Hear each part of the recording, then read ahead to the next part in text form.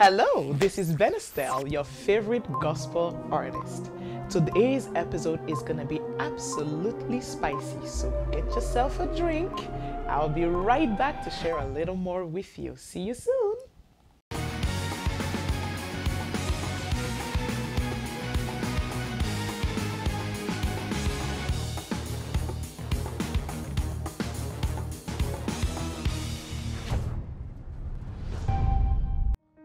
Welcome back. I have missed you. It's been a minute.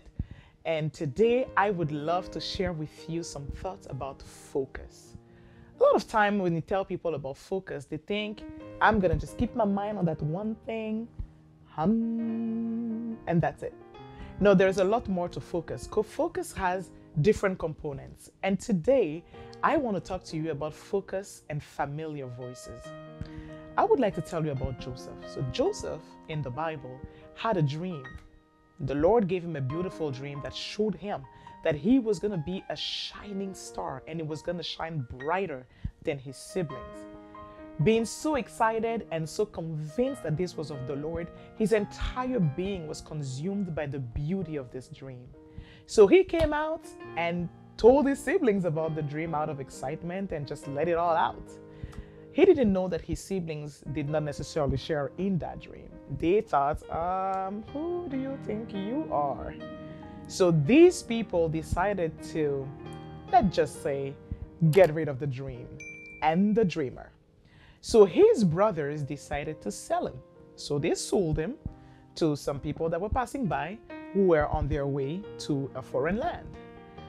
What I want you to pick up from this story is that the people who took care, quote unquote, of Joseph were familiar voices. These were his siblings.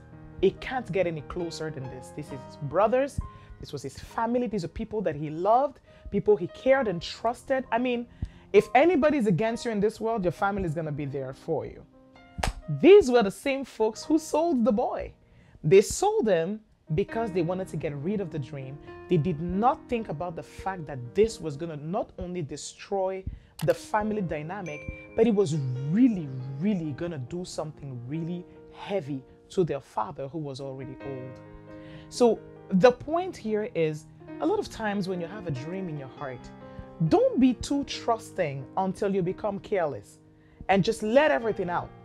The Bible says, Guard your heart with all diligence, for out of it are the issues of life. The people that you seem to trust and love may not understand your dream and may not see it the way you do see them. Joseph was around his siblings, not the neighbors, not strangers, not classmates, not a best friend. This is his blood. And he told them everything, and they were the one that told him what he shouldn't, couldn't, could not, might not be able to do. Sometimes you need to keep that dream inside. Let it grow.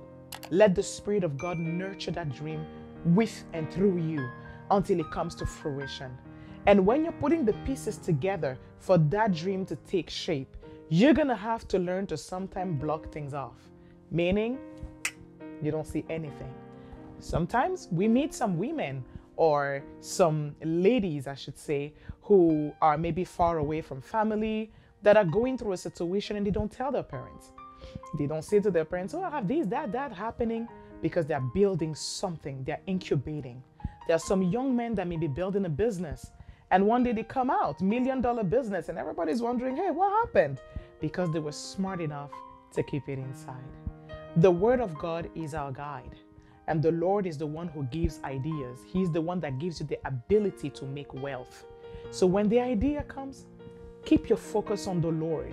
Drown the familiar voices, drown the best friends, drown all the people that have an opinion. And another thing that you should really pay attention to it is really good to some extent to get advice from friends, from family, but sometimes you also need to pay attention to the people who are speaking to you. If you have a friend who always starts something and never ends it, I don't think you want to listen to that person to build a lasting dream. So, you know what? As you focus on what you want to do, get into the habit of talking to yourself and talking to the Lord. Everybody else will come when everything is out and they will hail and clap for you. So, until I see you next time, keep dreaming, keep building, and hey, see you soon. Bye.